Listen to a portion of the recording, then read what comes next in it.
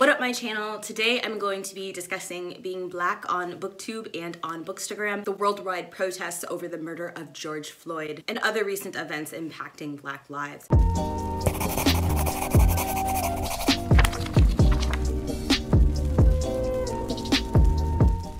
Some of you may know that I do live in Minneapolis, Minnesota, which is the place where George Floyd unfortunately was murdered. Since his murder, I have been going out and protesting and documenting all of the protest efforts on Instagram, um, largely because the media was not reporting our peaceful protests. They were only reporting on looters. The media had largely taken control of the narrative and was obscuring some of the really beautiful types of resistance that the citizens of Minneapolis were making sure happened. And so it was really important to me that I be able to document my experience being a part of that. And I was so, so overwhelmed in the most touching way by all of your love and support as I did that. So thank you from the bottom of my heart. A lot of you may have seen the Instagram TV video that I filmed after being tear gassed by police during a peaceful protest. One of the frustrating things about being black in America is that you know people won't believe you. And I know that people wouldn't have believed me if I had said that I got tear gassed at a peaceful protest and didn't have video evidence of it. And it's the same thing with George Floyd's murder. Nobody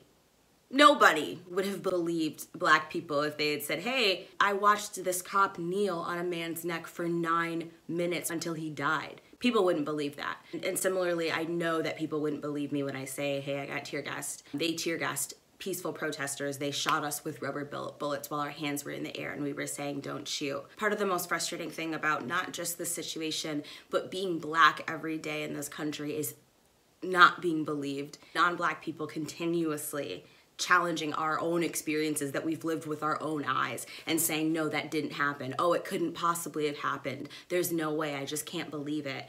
People who are non black consistently failing to believe the things that we experience, even though they logically know that there is a history and a continuation of systems of oppression that hurt black people the most in this country. Anyway, I'm digressing, but I'm just trying to say instead of constantly expecting that black people be responsible for providing proof, for carrying the burden of proof, just believe us when we say we experience the things we say we experience. I will leave the video linked down below if you are interested in watching it. I can't if you've seen it, you know that I broke down in the video. I was, I can't remember having cried harder in my life. I can't remember.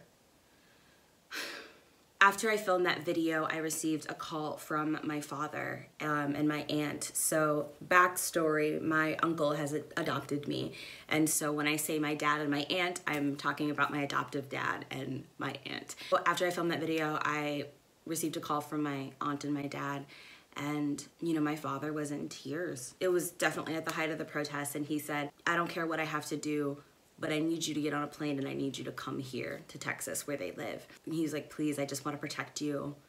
He said this thing that i'll never forget. He said i know that you're wonder woman but just for tonight i need you to turn back into diana prince. I'll never forget that and my aunt then got on the phone and she was like, Look, I've never seen your father like this, and I've been married to him for over 20 years, and I've never seen him cry like this. The reason that I bring this up is because this is not just how black parents feel sometimes. This is how black parents feel all the time. All the time, being scared that their children won't come home. Constant terror. Every day. Every day. I've been thinking a lot about the humiliation that comes with not just being a black protester, but that comes with being a black parent. I think about how humiliating it must have been to my dad to have to call his adult child crying and begging them to come home. I think about how humiliating it was to be protesting with my hands in the air, to be on one knee before police officers in full riot gear, to be on my knees before the National Guard, which I served in for five years of my life, begging for my human rights a lot of people have messaged me to say, oh, like, you're so strong, you're so brave, I look up to you, and I appreciated those messages, but I've never felt more powerless in my entire life. I've never felt more humiliated or degraded as I felt when I was marching in those streets. a lot of you would message me at the end of the night and just make sure that I had gotten home safe. And um, I, I received a lot of really, really touching messages from y'all saying, well, you know, like I can't sleep until I see that you've uploaded to your story and confirmed that you're home safe. And that's so touching. But also, as a black person in America, I'm never safe. Got into a really heated conversation with my mom when she was like, I just want you to be at home. I would prefer you were just making YouTube videos and protesting that way and not put, you know, out there putting your life on the line. And I had to be like, Mom, look, Aiyana Stanley Jones was seven years old. She was sleeping in her own home at age seven when she was shot in the head by police. Breonna Taylor was asleep in her home when police fired 28 rounds into her home, shot her eight times. I can be killed at home. I'm not safe anywhere. And these are not two isolated instances. There have been numerous incidences of police getting the wrong house, getting the wrong information, showing up to a house of a person that they think is a drug lord, and lo and behold, they're the average tax-paying citizen, and killing black occupants of that home. This is not something that happens infrequently in this country. So I can be killed right here. And also that knowledge, that knowledge that I don't even have the right to defend myself. As somebody that was in the service for five years and as somebody who went to uh, gun ranges in high school, I know my way around a firearm. I don't even have the right to defend myself against home invasion. Out of the seven deadly sins, pride is definitely mine. And it's been hard as a prideful person knowing that there's nothing I can truly do to be safe in this country that I love. My mama and my abuela raised me to walk around with my head held high. And so having to cower my head before police, who are supposed to be there to protect me, who my taxpayer dollars go into supporting, is degradation on the ultimate level. Somebody had gotten a hold of my Amazon wish list and found a way to send me this mask. And I, I don't know if this was supposed to intimidate me or scare me or, or if it was supposed to be a joke or what the purpose of this mask was. But I just want to say to whoever sent this to me, the full weight of the police force, the full weight of the National Guard couldn't scare me into silence. And this can't either. How much will you charge for your allyship? How much will it cost black people to have your support? Will the cost to be a human life? Will the cost be that we have to sit here for hours on end, holding your hand, patiently swallowing our own feelings, our own emotions in order to educate you so that you can grow? Or are you going to take it upon yourself to do that work yourself? How much will your allyship cost the people that you are trying to defend? And that's something that I want all of my non-black allies to think about. Um, I want my non-black allies to think well in advance what they're willing to do in support of black people. Are you willing to have that uncomfortable conversation with your family members? Are you willing to do everything in your power to defend our lives? Are you willing to stop supporting your favorite company when they come out as having racially prejudiced policies? Are you willing to stop supporting Book Outlet when they show that they are not willing to show up not only for Black lives, but also that they are upholding this image that Black lives are not family friendly? Are you willing to make even the smallest of sacrifices in order to support what you believe in? Or are you only going to do it when it's easy for you, when it's easy for you to tweet Black Lives Matter and then walk away, but you're not gonna check your racist uncle or your racist coworker? You're not gonna break up with that boy, that really cute boy who has a really bad habit of saying the N word. You're not gonna say anything when your favorite companies have influencers that are all white or who are all light skinned. What are you willing to do for your allyship? What are you willing to do for Black Lives? Are you willing to look at your subscription feed and think, hey, a lot of white people on here. Where do black people at? I'm unable to celebrate this milestone that I've been fighting for, which is my channel hitting 10K. I've been fighting to hit 10K for quite some time, and I had all these things planned that I wanted to do when I got to this milestone. And I can't now because I know that the reason that I'm at 10K is because now it's trendy to follow black people and I'm concerned that once things get back to business as usual, all of these people are gonna leave. right? Once it's no longer trendy or popular to be following creators that look like me, the numbers are gonna go back down again. My Instagram just hit 20K, a milestone that I never thought that my Instagram would be at. How many times over the last two years have you seen initiatives from black booktubers to get people to follow us? How many times have we said, hey, we are getting passed up for opportunities. Hey, we are not showing up in people's subscription feed. Hey, people aren't subscribing to us. Hey, we're not growing as fast as our white counterparts. Hey, dark skinned black people are not growing as fast as their light skinned black counterparts. How many times have we had these conversations in the booktube community? How many times have we had these conversations in the bookstagram community? Read own voices, support diverse creators, follow black bookstagrammers, and pre-order black people's books. And it took not just one man, but several black people dying. Not just George Floyd, but Breonna Taylor, Tony McDade, the barbecue man, all of these people whose lives mattered dying before people were willing to follow us, before people were willing to buy our books. I called my favorite independent bookstore the other day so that I could pre-order uh, The Vanishing Half, so I could pick up a copy of The Vanishing Half by Brit Bennett. Um, and I had I had inquired about some other books by black authors and they all were out of stock. They all were out of stock because so many people were buying them that the distributor had to print more copies of these books. And that's great. It's it's great that these books are finally getting the love and attention that they deserve. All of a sudden we have all these black authors on the New York Times best-selling list. Why did it take a man dying for people to realize that these works have merit. These books could have been on the best selling list without the cost of Black lives. And so you have to ask yourself if you're truly an ally if you wait until a death occurs in order to show up. You can't demand that Black people just simply be grateful for your presence. We're not playing we'll take what we can get. I demand that my allies be here for my life as well as my death.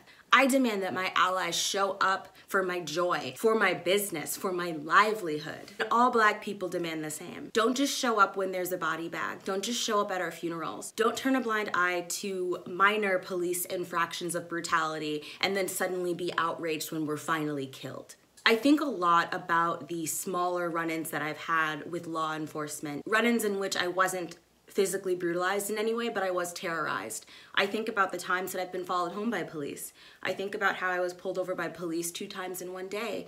And, and one of the officers didn't even bother telling me why I was being pulled over. He just immediately asked for my license and my proof of insurance. I think about the terror that I've experienced with police. Not just the terror that I've experienced, but other black people as well. Almost every black person has a story of lower level brutality with law enforcement. People wait until there's an undeniable video of the brutality that we know exists in order to be upset. We need to be upset well before then. We need to stand up to these infractions before it escalates to the point of murder. I'm great that these new followers are here, but I have to ask myself, how many times did you scroll past my profile, watch a video because it was trending, but not subscribe? How many times did you think about supporting me, but didn't because it wasn't popular to do so. All right, before I move into talking more about being black in the book community as well as what's going on with Book Outlet, I wanted to kind of publicly address this open letter to the book community that I wrote and posted on my Twitter, just for those who haven't seen it, for those of you who don't follow me on Twitter. It was the flood of support I received from this community and my amazing black father that gave me the strength to continue marching after I was gassed. Nothing short of death would have truly kept me from continuing to protest but knowing I was never alone for so much as a moment because of you, because of this community, was air in my lungs. You kept me strong. You carried me. I have seen book community members proudly tweet their refusal to lift a finger to help Black lives survive.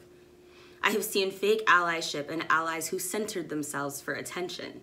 But I have also seen our community knit itself together, my DMs have been flooded, absolutely flooded with profound messages. I have seen black people's books go out of stock because they're flying off the shelves. That said, I am deeply disturbed it took George, Breonna, Tony, and David being murdered for non black readers to start showing up for black authors and black readers. How many times have we seen initiatives to follow black creators that resulted in our numbers barely increasing? How many times did you scroll past requests to follow black creators before George Floyd was murdered? Continue buying black authors, not just black women, but black non binary authors and black men, and follow black book community members. Do not follow because it's trendy. Do not leave us the second supporting us is no longer popular. I could not have dreamt the support I've received during this time. My gratitude is a C. I ask you support other black folks, black creators and authors with the same vigor you have supported me for the rest of your lives. Being an ally is a lifelong commitment. It is constant self-work, listening and admitting your inevitable mistakes and continuing to support even when it's uncomfortable for you. With love and gratitude, Jesse, Bowties, and Books. I'm not interested in being the token black community member that you follow. I am part of a rich, bold, and dynamic community that has so much to offer, and I have value beyond my racial commentary and my ability to educate. I have value as a human being. And I wanna kind of circle back to discussing the types of businesses that we support. In terms of book outlet, I have never ordered from them. Something has always held me back. When they recently were criticized about the lack of black influencers they have in their program, they released a very, very tone deaf statement, essentially saying, well, we would love to have more black faces in our influencer program. However, we're a family friendly business essentially saying that black creators are not family friendly.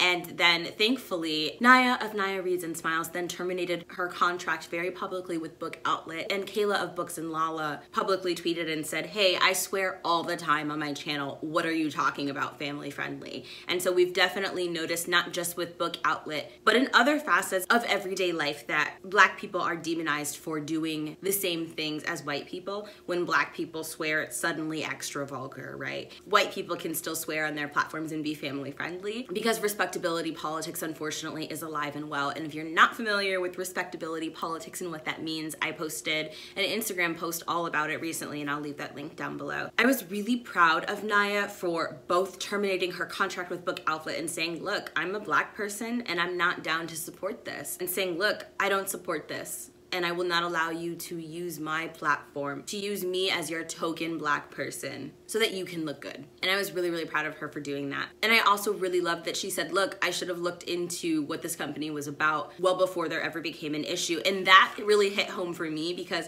I don't have the privilege of having any sponsorships, but if somebody does want to work with me, really in any capacity, I always say to them, yes, I would love to work with you. However, I need to make sure that you're using my proper pronouns. I'm gender neutral. I'm agender. My pronouns are they, them, not she, her, hers. And if you were going to use my platform in any way, shape, or form, you need to use proper pronouns for me, right? That's something that's that I'm very transparent about. When YouTube reached out to me in order to film an interview with Bryan Stevenson, the author of Just Mercy, I told them flat out, I said, look, I would love to do this, but I'm non-binary binary and if I show up to this, I need my proper pronouns to be used at all times and in any time that you refer to me. And YouTube was so gracious and they had absolutely no trouble respecting that. And I bring this up because we all need to be doing the same, right? Anytime you sign up for a company for a subscription service, anytime that you think about accepting merchandise from a company, you and I, myself included, need to look into what that company actually stands for. Are they promoting all white faces? Are they making problematic statements?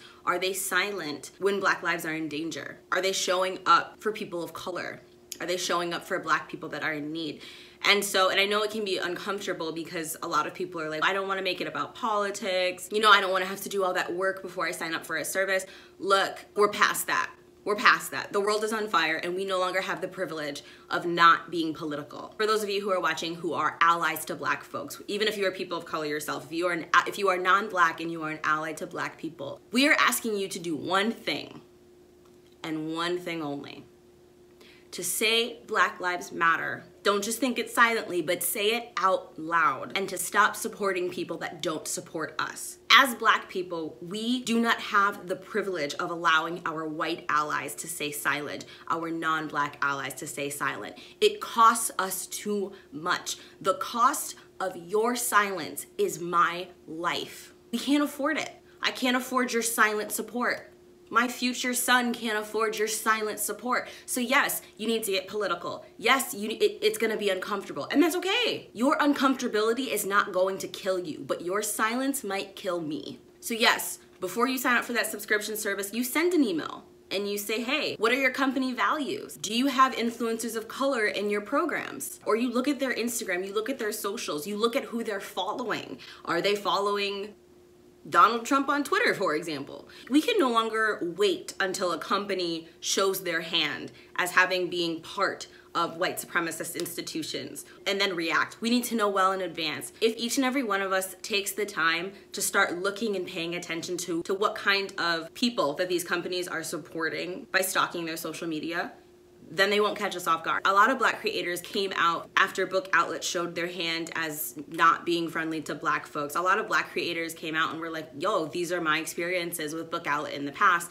and showed screenshots of book outlets saying very problematic things to them, denying them to be part of their program, saying that they would get back to them and never doing it. And it's also not just that these creators are just now talking about it, it's that people are just now listening. So basically, my point is if you are going to take the time to sign up for a subscription service or to follow a company or a brand, you also need to do at least two minutes of research. And I'm guilty of this too. And so this is also like me being accountable. I'm going to leave some resources down below of businesses that are black friendly as well as a list of books that I have read that are anti-racist books and that I think everybody should read. These are going to be a combination of nonfiction books, such as Open Season by Ben Crump. This is a book that I'm heavily promoting. It's about the various ways that genocide has been legalized against black people in the United States. Very, very important material, and it's by a black male author. A lot of people are supporting black women authors and marginalizing black men authors. So make sure that you buy books by black men.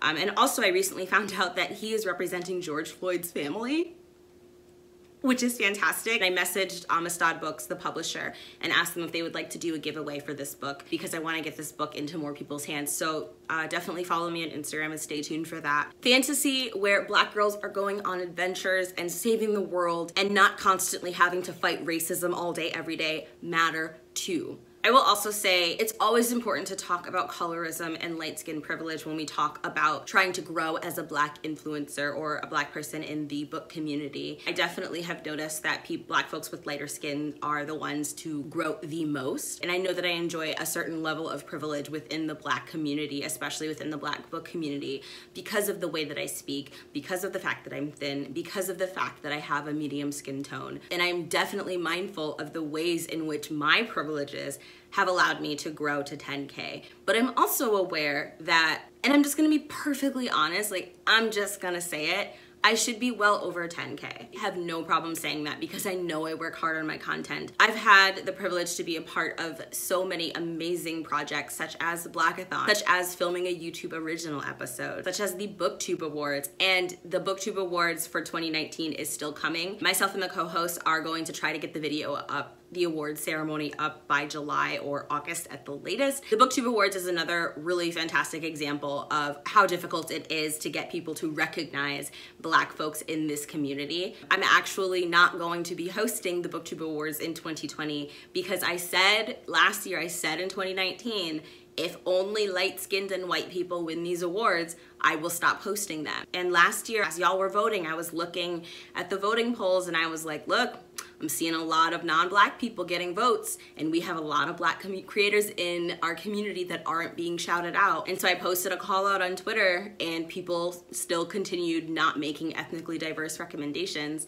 And the only reason I didn't cancel the BookTube Awards is is because you got, so many of you guys donated money for the award packages. Oh, I will have the award ceremony out of respect for those of you who donated money, but I will not be hosting the awards in 2020 because I'm not hosting an award show for white readers and white readers only. We're not doing that. But again, another great example of how there was an opportunity to uplift black creators and y'all failed. To be black in the book community is to be continuously disregarded. And I just ask that those of you who are non-black, who are just now starting to follow these black voices, that you not only be following us because it's trendy, and that you only not be following us so that we can educate you, or so that you can get the black perspective. Follow us because we have great content, because you like our energy, because you like the kinds of books we like to read. You have to find something about us to like other than the fact that we're black. My blackness is not the best or even the biggest thing about me, and it never will be. This is not an invitation for a bunch of you to comment down below and be like, oh, I don't see color. You don't even seem black to me. I just noticed you were black. Don't do it. Don't do it. That is gonna do it for this video. Thank you so much for watching. If you haven't already, please give it a big thumbs up and subscribe to my channel. And I can't wait to see you in my next one.